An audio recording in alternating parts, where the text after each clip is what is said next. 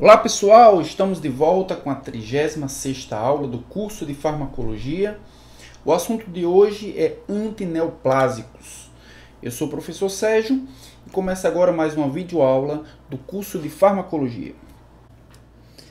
Bem, essa aula será dividida em quatro partes. Na primeira parte falaremos sobre a definição de câncer, ciclo celular, classificação dos antineoplásicos e os seus locais de ação.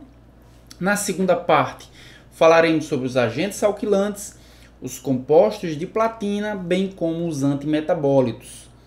Na terceira parte, produtos naturais e os antibióticos antineoplásicos. E na quarta e última parte, falaremos sobre a resistência tumoral e também os efeitos adversos mais comuns na quimioterapia. Inicialmente, nós podemos observar aqui os dados do Instituto Nacional do Câncer sobre a incidência de neoplasias no Brasil. Esse dado é um dado de 2014. 2014, cerca de 570 mil novos casos de câncer surgiram no Brasil e entre homens e mulheres, o topo, o primeiro, o mais incidente é o câncer de pele. Depois nós temos no, nesse ranqueamento, nessa divisão entre homens e mulheres, nós temos diferenças é, relativo a cânceres que, câncer que são exclusivos, neoplasias que são exclusivas de homens ou de mulheres. O câncer de mama é o segundo mais frequente entre as mulheres, enquanto que o câncer de próstata é o mais frequente entre os homens. Em terceiro lugar, entre as mulheres, vem outro câncer exclusivo de mulheres, que é o câncer de colo de útero. Entre os homens, nós temos o terceiro lugar é o câncer de pulmão. E aí nós temos né, o câncer de colo de reto e o câncer de estômago, é, revezando-se em terceiro, em quarto e em quinto lugar entre homens e mulheres. Nas mulheres, nós temos o câncer de colo e de reto em quarto e o de estômago em quinto. E entre os homens, nós temos uma inversão: o quarto é de estômago e o quinto é cólon e reto.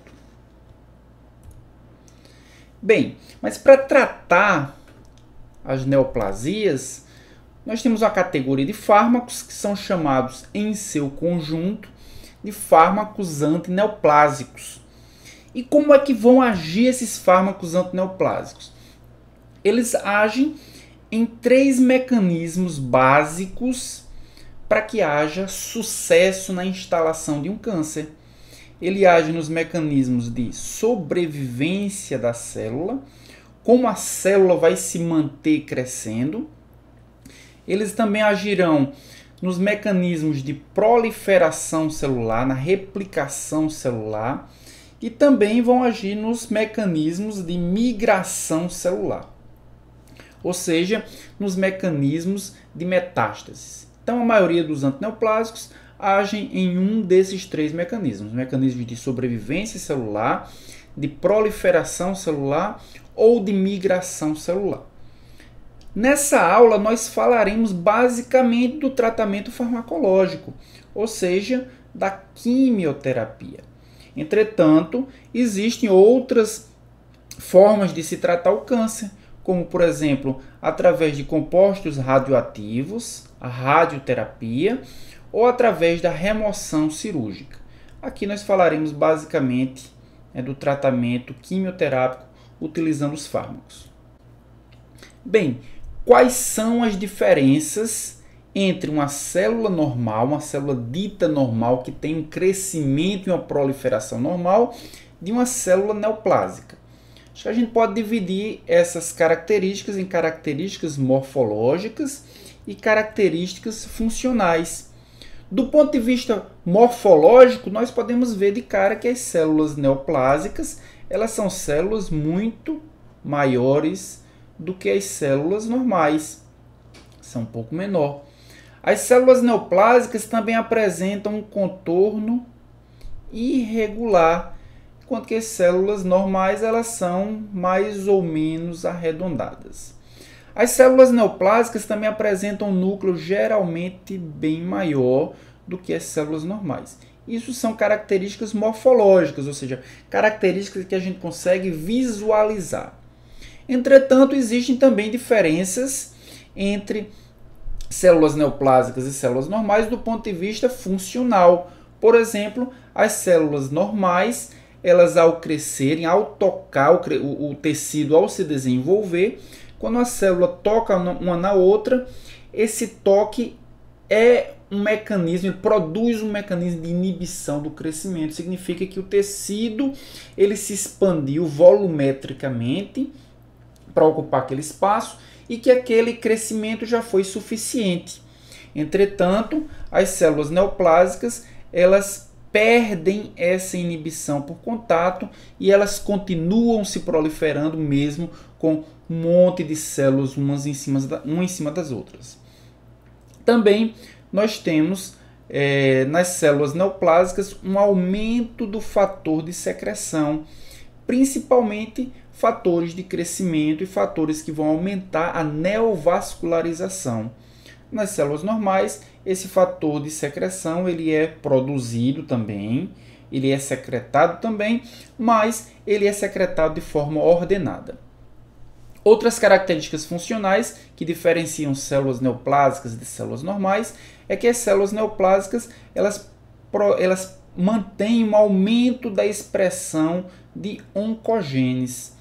Então, todas as células elas possuem o que se chamam de proto proto-oncogenes. Esses proto-oncogenes são genes que mantêm o crescimento e a proliferação celular e que ao sofrerem uma mutação e se transformarem num oncogene, esse oncogene ele perde o controle dessa proliferação celular, transformando uma célula normal em uma célula neoplásica. Então a célula neoplásica ela tem um aumento da expressão desse oncogene por transformação do proto-oncogene em oncogene. Ao mesmo tempo, a célula neoplásica ela também tem uma diminuição do gene supressor do tumor. Então existe um equilíbrio entre o proto-oncogene que regula, que estimula as células a, a se proliferar e o supressor do tumor, o anti-oncogene, que reduz, que freia a célula nessa proliferação celular. Na célula normal, a expressão do oncogene ela é muito rara, enquanto que a presença do gene supressor do tumor ela é bem mais efetiva do que na célula neoplásica. Bem, o câncer, na verdade, o câncer não é uma única doença, é um conjunto de doenças com mecanismos e patogêneses completamente diferentes. Entretanto, a gente pode pensar num mecanismo que é mais ou menos comum para que o câncer gere a doença, para que o câncer possa gerar patologia em si. Então, no geral, nós podemos observar que tudo começa com um carcinógeno. Esse carcinógeno pode ser uma substância química, pode ser radiação ultravioleta, pode ser um microorganismo. E esse carcinógeno ele vai alterar na célula normal a relação entre proto-oncogene e oncogene e gene supressor do tumor. Quando essa relação é alterada, essa célula se transforma numa célula, ela é chamada, melhor dizendo, de uma célula transformada. E essa célula transformada, quando começa o seu sua proliferação desordenada, ela é chamada de célula neoplásica. Essa célula neoplásica vai se multiplicar, ela vai formar uma, uma massa de células, uma massa celular, e essa massa celular é o tumor propriamente dito, que vai se neovascularizar, porque essa célula neoplásica ela produz aquele fator de secreção que induz a neovascularização e depois essas células do tumor elas vão invadir esses vasos, a invasão dos vasos, como nós estamos vendo aqui na imagem, e essas células elas vão migrar por todos os vasos até que elas sofram extravasamento, elas passem para outro tecido. Esse tecido é colonizado num processo chamado de metastização. Então, de uma forma bem geral, é mais ou menos isso que acontece durante a progressão tumoral. Então, o carcinógeno transforma a célula normal, essa célula normal se transforma numa célula neoplásica que gera um tumor que neovasculariza e que essa célula é, migra para outros locais através dos vasos que ela mesma criou. Então, para que entendamos como agem os fármacos antineoplásicos, é imprescindível que nós entendamos o ciclo celular. O ciclo celular é um conjunto de eventos que vai regular a divisão celular. E ela é formada basicamente por duas fases, a intérfase e a fase de divisão celular. A intérfase ainda é subdividida em mais quatro fases. Uma fase chamada de G0, a G1, a S e a G2. Nós não vamos entrar em muitos detalhes o que é que acontece em cada uma dessas fases, mas de uma forma geral, essas quatro fases elas preparam a célula, elas sintetizam tudo que a célula precisa, ela organiza tudo que a célula precisa para que a célula possa entrar em divisão celular. E aí, depois que acontece a intérfase, aí de fato a célula entra em mitose, ou seja, a célula entra em divisão celular. Só que a célula, para que ela se divida, ela precisa checar, é os checkpoints, é os pontos de checagem que a célula faz para que ela passe para a fase seguinte. Ela só vai passar para a fase seguinte se tudo que ela planejou fazer, se tudo está saindo como um script, se tudo está saindo como planejado. Por exemplo, se na fase S é importante que haja síntese de DNA, ou seja, que todo o material genético seja duplicado. Vai existir um checkpoint que vai verificar se essa divisão aconteceu. Se essa divisão não tiver acontecido, a célula ela não progride para a fase seguinte. Então, em termos gerais, é isso. Então, nós temos aqui os pontos de restrição, que são esses checkpoints. Então, ao passar por cada uma dessas fases, a célula checa se tudo que deveria ter acontecido de fato está acontecendo.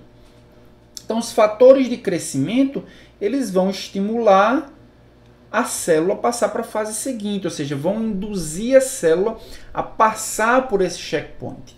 Enquanto que os genes supressores do tumor, eles vão fazer o contrário, eles vão inibir a célula a passar por esses fatores, por esses pontos de restrição, por esses pontos de checagem. Se por acaso for verificado algum problema nesses pontos de checagem, como por exemplo, se for observado uma lesão no DNA, se for observado depressão de nucleotídeos celulares, mau funcionamento do aparelho mitótico, por exemplo, os genes supressores do tumor, eles inibem a passagem para a fase seguinte e obrigam a célula a ir para uma outra fase que é chamada de apoptose ou morte celular programada. Então, quais são as fases da apoptose? Então, se a célula por acaso tem alguma daqueles defeitos que nós vimos no slide anterior, os genes supressores do tumor dizem: não, você não vai passar para a fase seguinte porque você tem um defeito e esse defeito é crítico vou mandar você para a apoptose. Então, durante a fase de apoptose, a célula possui uma mudança na sua morfologia. Então, nós podemos ver aqui uma célula normal, ela, ela é arredondada. Nós temos aqui mudanças na sua morfologia. Também formação de corpos apoptóticos, são essas pequenas células, esses pequenos fragmentos celulares e posteriormente a terceira fase é a fagocitose dos corpos por células adjacentes. Então essas, esses fragmentos celulares eles serão fagocitados para que a célula de fato ela seja completamente exterminada e ela não progrida para uma fase de multiplicação celular. E a eficácia da maioria dos fármacos antineoplásicos vai depender da ativação de processos de apoptose celular. Então, o fármaco, ele normalmente, na maioria das vezes, ele vai frear a multiplicação celular. Mas ele vai frear para que os mecanismos fisiológicos e genéticos levem a célula que está alterada para um mecanismo de apoptose. Nós podemos dividir os fármacos, né? Existem várias classificações para os fármacos antineoplásicos, mas uma das mais interessantes, uma das mais utilizadas é quanto ao seu local de ação no ciclo celular. E aí nós podemos dividir os fármacos antineoplásicos em fármacos específicos da fase S, ou seja, daquela fase de síntese do DNA. E aí nós temos como exemplo citosina, arabinosídeo, hidroxiureia. Nós temos os específicos da fase S, mas que são autolimitantes, eles agem aqui entre a fase S e a fase G2. 6-mercaptopurina e metotrexato agem nessa fase. E os fármacos específicos da fase M, ou seja, da multiplicação, da mitose. E nós temos a vincristina, a vimblastina e o paclitaxel. Além disso, nós temos os fármacos que são inespecíficos do ciclo celular. Então, eles agem no ciclo celular, mas eles agem em qualquer fase do ciclo celular, seja fase G1, na S, na G2 ou na M. São os agentes alquilantes, as nitrosureia, antibióticos antitumorais, procarbazina, cisplatina e dacarbazina. Então, só colocando os conceitos dessa classificação, os fármacos antineoplásicos ciclo inespecífico são aqueles que atuam nas células que estão ou não no ciclo proliferativo, como por exemplo a mostarda nitrogenada, então, a mostarda nitrogenada ela age na célula, seja ela em multiplicação, seja ela em intérfase. Ela está sem ser em multiplicação, mas ela age da mesma forma. São chamados de ciclo inespecífico, age em qualquer uma daquelas fases do ciclo. Nós temos também os que são ciclo específicos, que elas atuam somente nas células que se encontram em proliferação como por exemplo a ciclofosfamida. Então, se a célula não está em multiplicação, ela não age. Se a célula está em multiplicação, ela está funcionando nesse ciclo, na, na mitose propriamente dita. E nós temos os fase específicos, que são aqueles que atuam em determinadas fases do ciclo celular. Atua só na fase S, atua só na fase G2, atua só em alguma fase da mitose propriamente dita. E aí, alguns fármacos também vão agir diretamente na mitose, nas fases da mitose.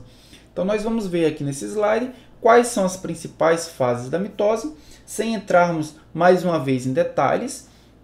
Mas nós temos aqui, como nós já falamos, a fase da intérfase, onde a célula vai se preparar para que entre em divisão, vai dobrar o seu material genético, vai duplicar as suas organelas citoplasmáticas, vai alterar toda a constituição de modo que depois ela possa se dividir e dividir também todo o seu material genético e também organelar.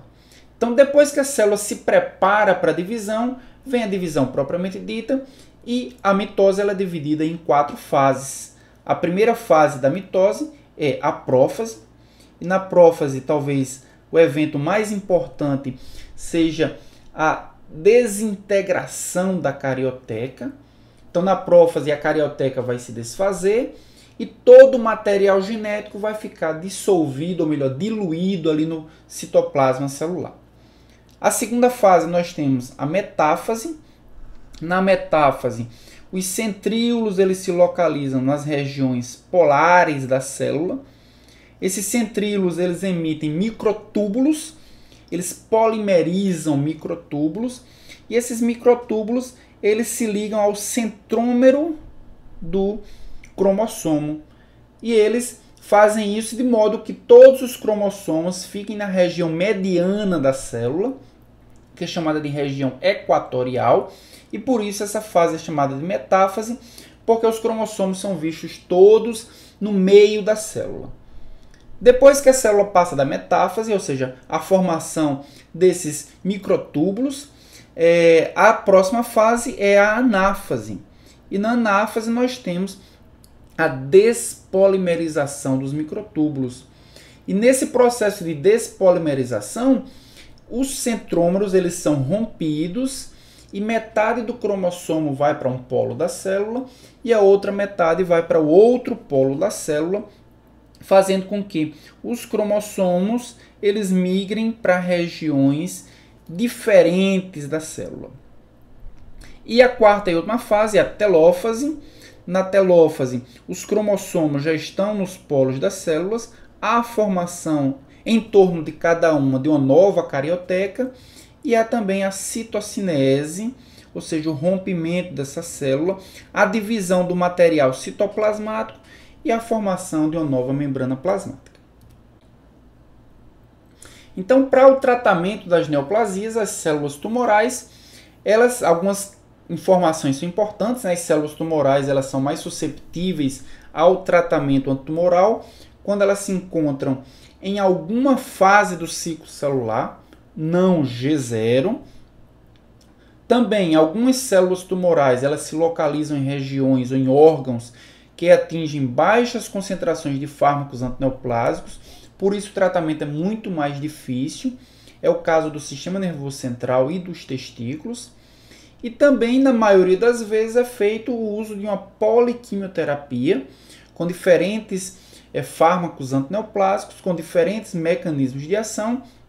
Isso é muito utilizado para impedir que haja resistência no crescimento e na proliferação celular. Então, quais são os tipos de quimioterapias? Então, existem várias classificações, mas aqui eu trouxe uma que é baseada na finalidade. Então, a quimioterapia ela pode ser do tipo curativo, quando o objetivo, como o próprio nome diz, é curar, certo? Então, é conseguir o controle completo do tumor.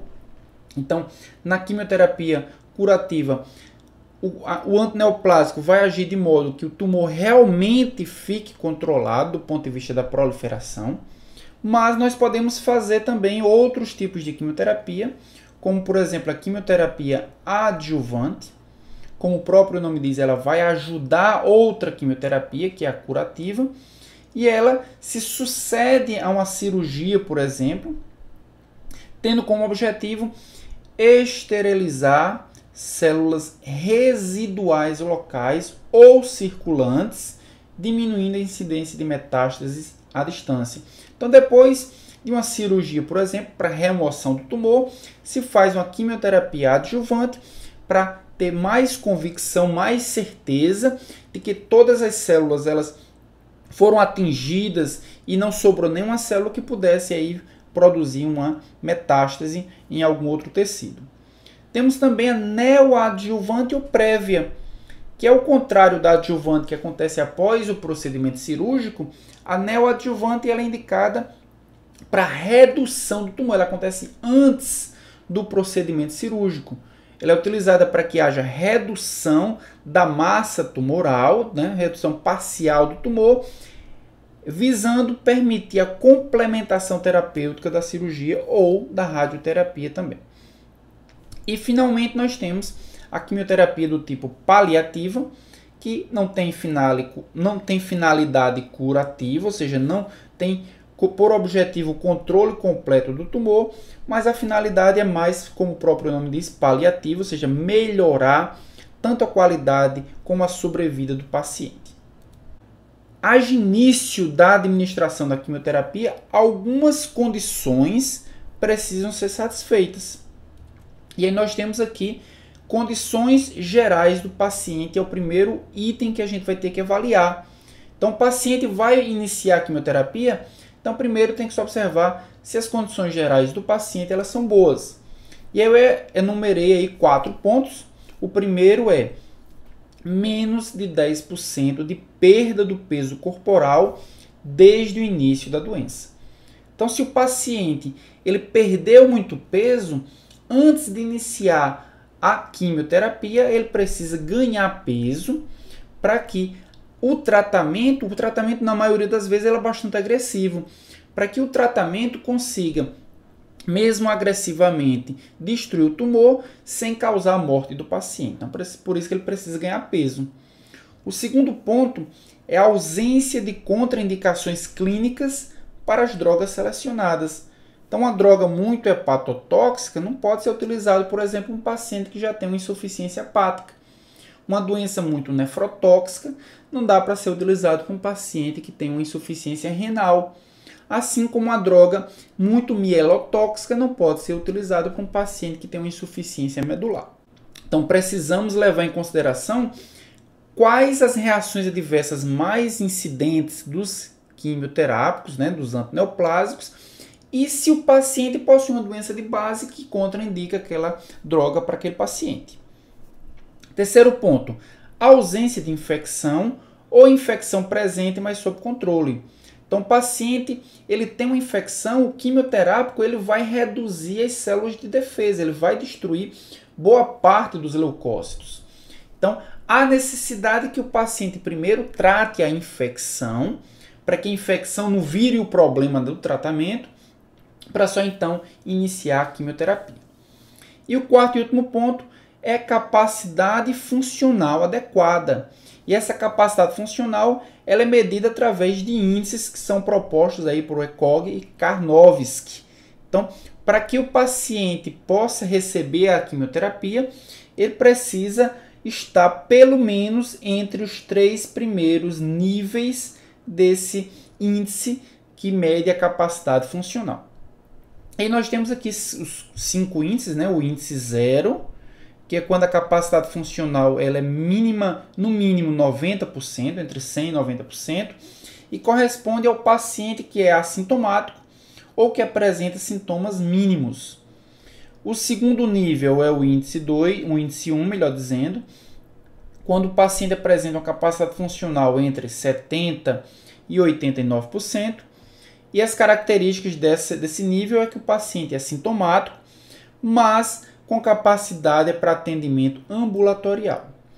E o terceiro nível, né, o índice 2, nós temos uma capacidade funcional entre 69% e 50%, ou seja, o paciente está com metade da sua capacidade funcional, e aí corresponde ao paciente que permanece no leito menos da metade do dia. Então, o paciente que apresenta um desses três níveis, ele pode receber a quimioterapia. Se ele apresentar o nível 3, por exemplo, com a capacidade funcional entre 49% e 30%, ou seja, o paciente permanece no leito mais da metade do dia. Então ele vai ter que se recuperar. Além disso, outros critérios para administração da quimioterapia também são parâmetros hematológicos e bioquímicos. Então, o paciente, por exemplo, precisa ter leucócitos no mínimo com 4 mil células por milímetro cúbico.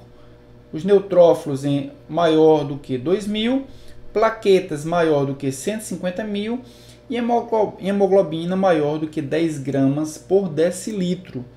Se o paciente não apresenta esses parâmetros, ele precisa primeiro recuperar esses parâmetros hematológicos para só então é, ser administrada a quimioterapia. Isso acontece porque a quimioterapia vai reduzir essas células. Se o paciente já apresenta esses níveis mínimos, ele poderá ficar tão exposto a infecções, outras afecções, que isso poderá comprometer a sua vida. Do ponto de vista das dosagens bioquímicas, os parâmetros são ureia, paciente precisa ter ureia de no máximo 50 miligramas, por decilitro, creatinina máximo 1,5 mg por decilitro. Isso são parâmetros renais.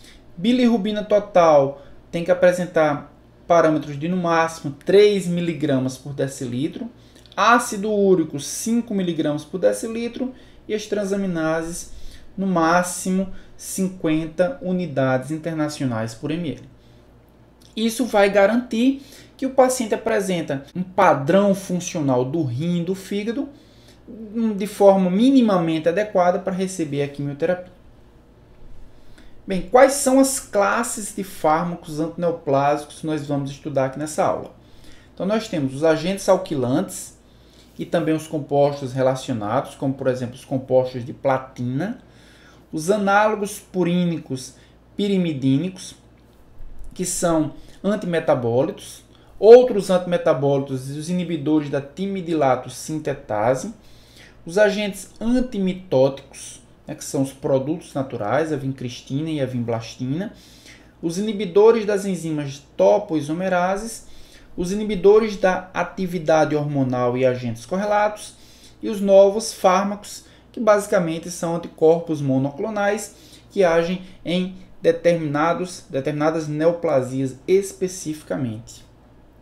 E onde é que eles agem? Bem, os antimetabólitos, eles agem na síntese do DNA. Então, eles impedem que a célula ela consiga sintetizar o DNA, ou seja, naquela fase S. Os agentes alquilantes, eles agem diretamente na molécula de DNA que foi sintetizada. Então, a molécula, mesmo sintetizada, eles vão destruir essa molécula. Os agentes intercalantes, eles vão agir na transcrição e também na replicação no, do DNA. E os inibidores mitóticos, eles vão agir na mitose, impedindo que a célula entre em divisão. Então, pessoal, essa foi a primeira parte da aula antineoplásicos. Nessa aula nós vimos um pouquinho sobre as características do câncer. Vimos também quais são os critérios para se iniciar a quimioterapia, os principais quimioterápicos, os principais antineoplásicos e também onde eles agem, os locais de ação desses antineoplásicos. Na segunda parte falaremos sobre os agentes alquilantes, também os compostos relacionados, os compostos de platina, bem como os antimetabólitos. Então não percam a segunda parte da videoaula antineoplásicos. Até lá!